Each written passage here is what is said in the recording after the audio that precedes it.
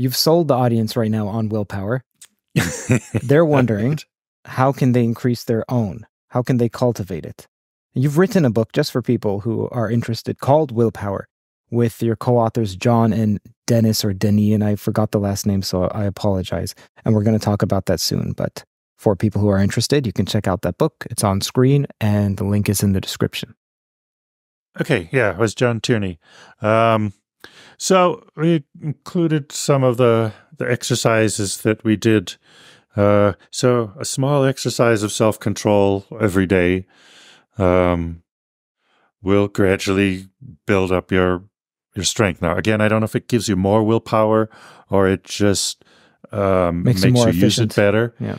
And and there's also the finding we have more willpower than we think we have. Uh, I think the brain is designed to conserve energy, uh, probably for sound evolutionary reasons. That's a Navy SEAL saying. So the Navy SEALs say that when you think you're done, you're only 40% done, something like that. Okay, I, I didn't know that, but uh, but I, am glad to hear that. And and yes, yes, they're right. I, I don't know about the precise figure of forty percent, um, but uh, people can do more uh, uh than they think. Uh, fatigue, whether it's physical fatigue or or depletion, which is a kind of mental fatigue, uh, the, the, the body, the brain are designed to conserve energy, especially if this is all tied into the body's basic energy supply, uh, as in glucose in the bloodstream.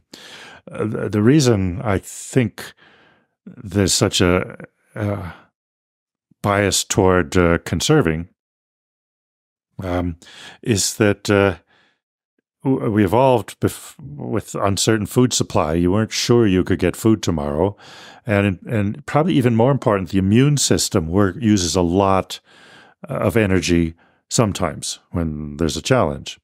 So if you got an infection in your foot, uh, in most of our evolutionary history, you know it could kill you. Mm. Uh, they didn't have antibiotics or anything to to treat it, uh, so your body had to be able to fight it off. So you don't want your uh, energy reserves to get dangerously low in case the immune system uh, uh, needs it. Um, now, so the the brain doesn't actually know how much energy it has.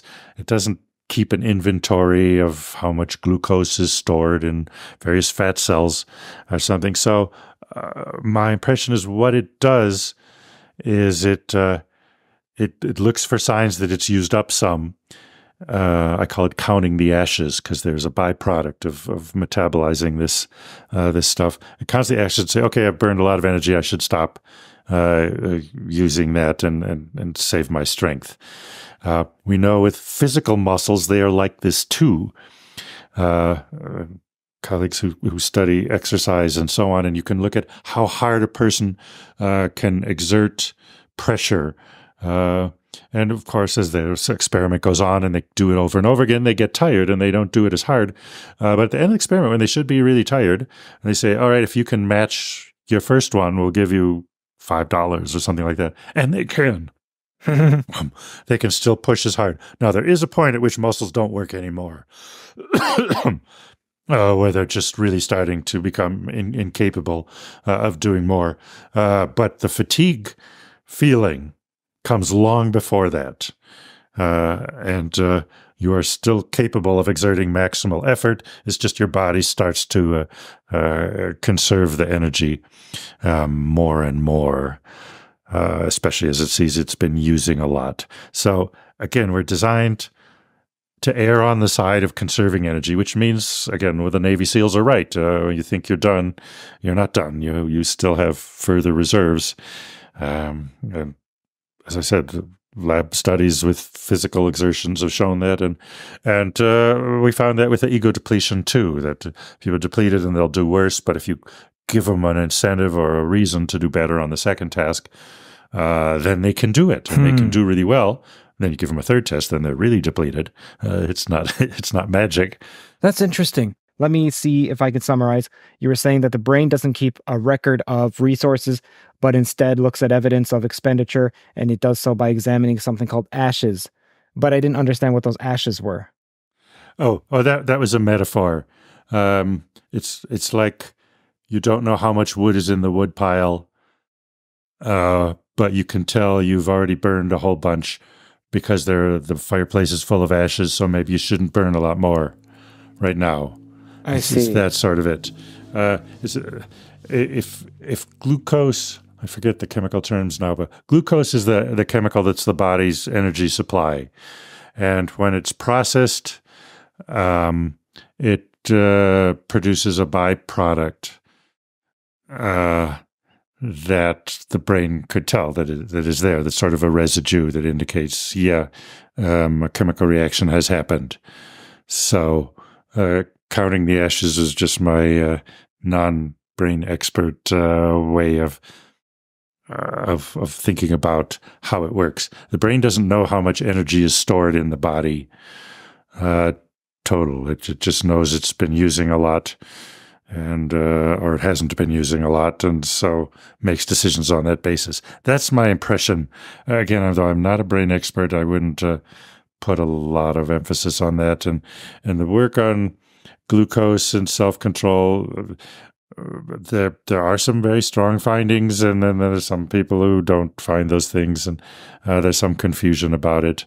Uh, so, it's it's to me one of the weak points in in current knowledge on this there are some psychological theories that are taught that are just prevalent and believed in. And I'm curious of those currently, which one do you vehemently disagree with? That's being touted as like some dogma, let's say. Are you going to give me a, ch- a set of choices? No, I don't know the psychological literature. So, are there any that you disagree with that are believed wholesale nowadays? Um, all right, I'd have to think about that. Uh, a lot of people still believe that uh, uh, venting your anger is good for you. That if you're unhappy about something, you should go, you know, pound a, a hammer on something or hit a pillow or whatever. Uh, but there's just a big meta-analysis my my friend Brad Bushman did. I wasn't involved, but uh, um, uh, but I saw the paper, and that's that's just wrong. When when people try to deal with their anger, reducing arousal is sometimes works. Doing anything to express it or or whatever that that tends to make it worse. That's uh, that's counterproductive. It goes in in Freud's terms. It was the catharsis hypothesis that. Uh, that you have some energy inside that you need to let out in uh, in acts of aggression or violence. Uh, people used to argue watching a boxing match would be good for you because you could get out your aggressive impulses, mm-hmm. but that that doesn't appear to be correct. Uh, you watch a violent boxing match, if anything, it makes you more aggressive. For most people, it has no effect, but it, it doesn't satisfy something or reduce it. So that would be one one popular uh, but still uh, still popular but wrong theory. If you enjoyed this TOE clipping, then the full video is linked in the description. You should also sign up for TOEmail, which is again in the description and the pinned comment. You'll receive immediate access to all exclusive updates from the Theories of Everything podcast. It also helps me communicate directly with the core TOE community. You'll also receive my top 10 TOEs. Think of it as the intellectual version of Quentin Tarantino's Obsession.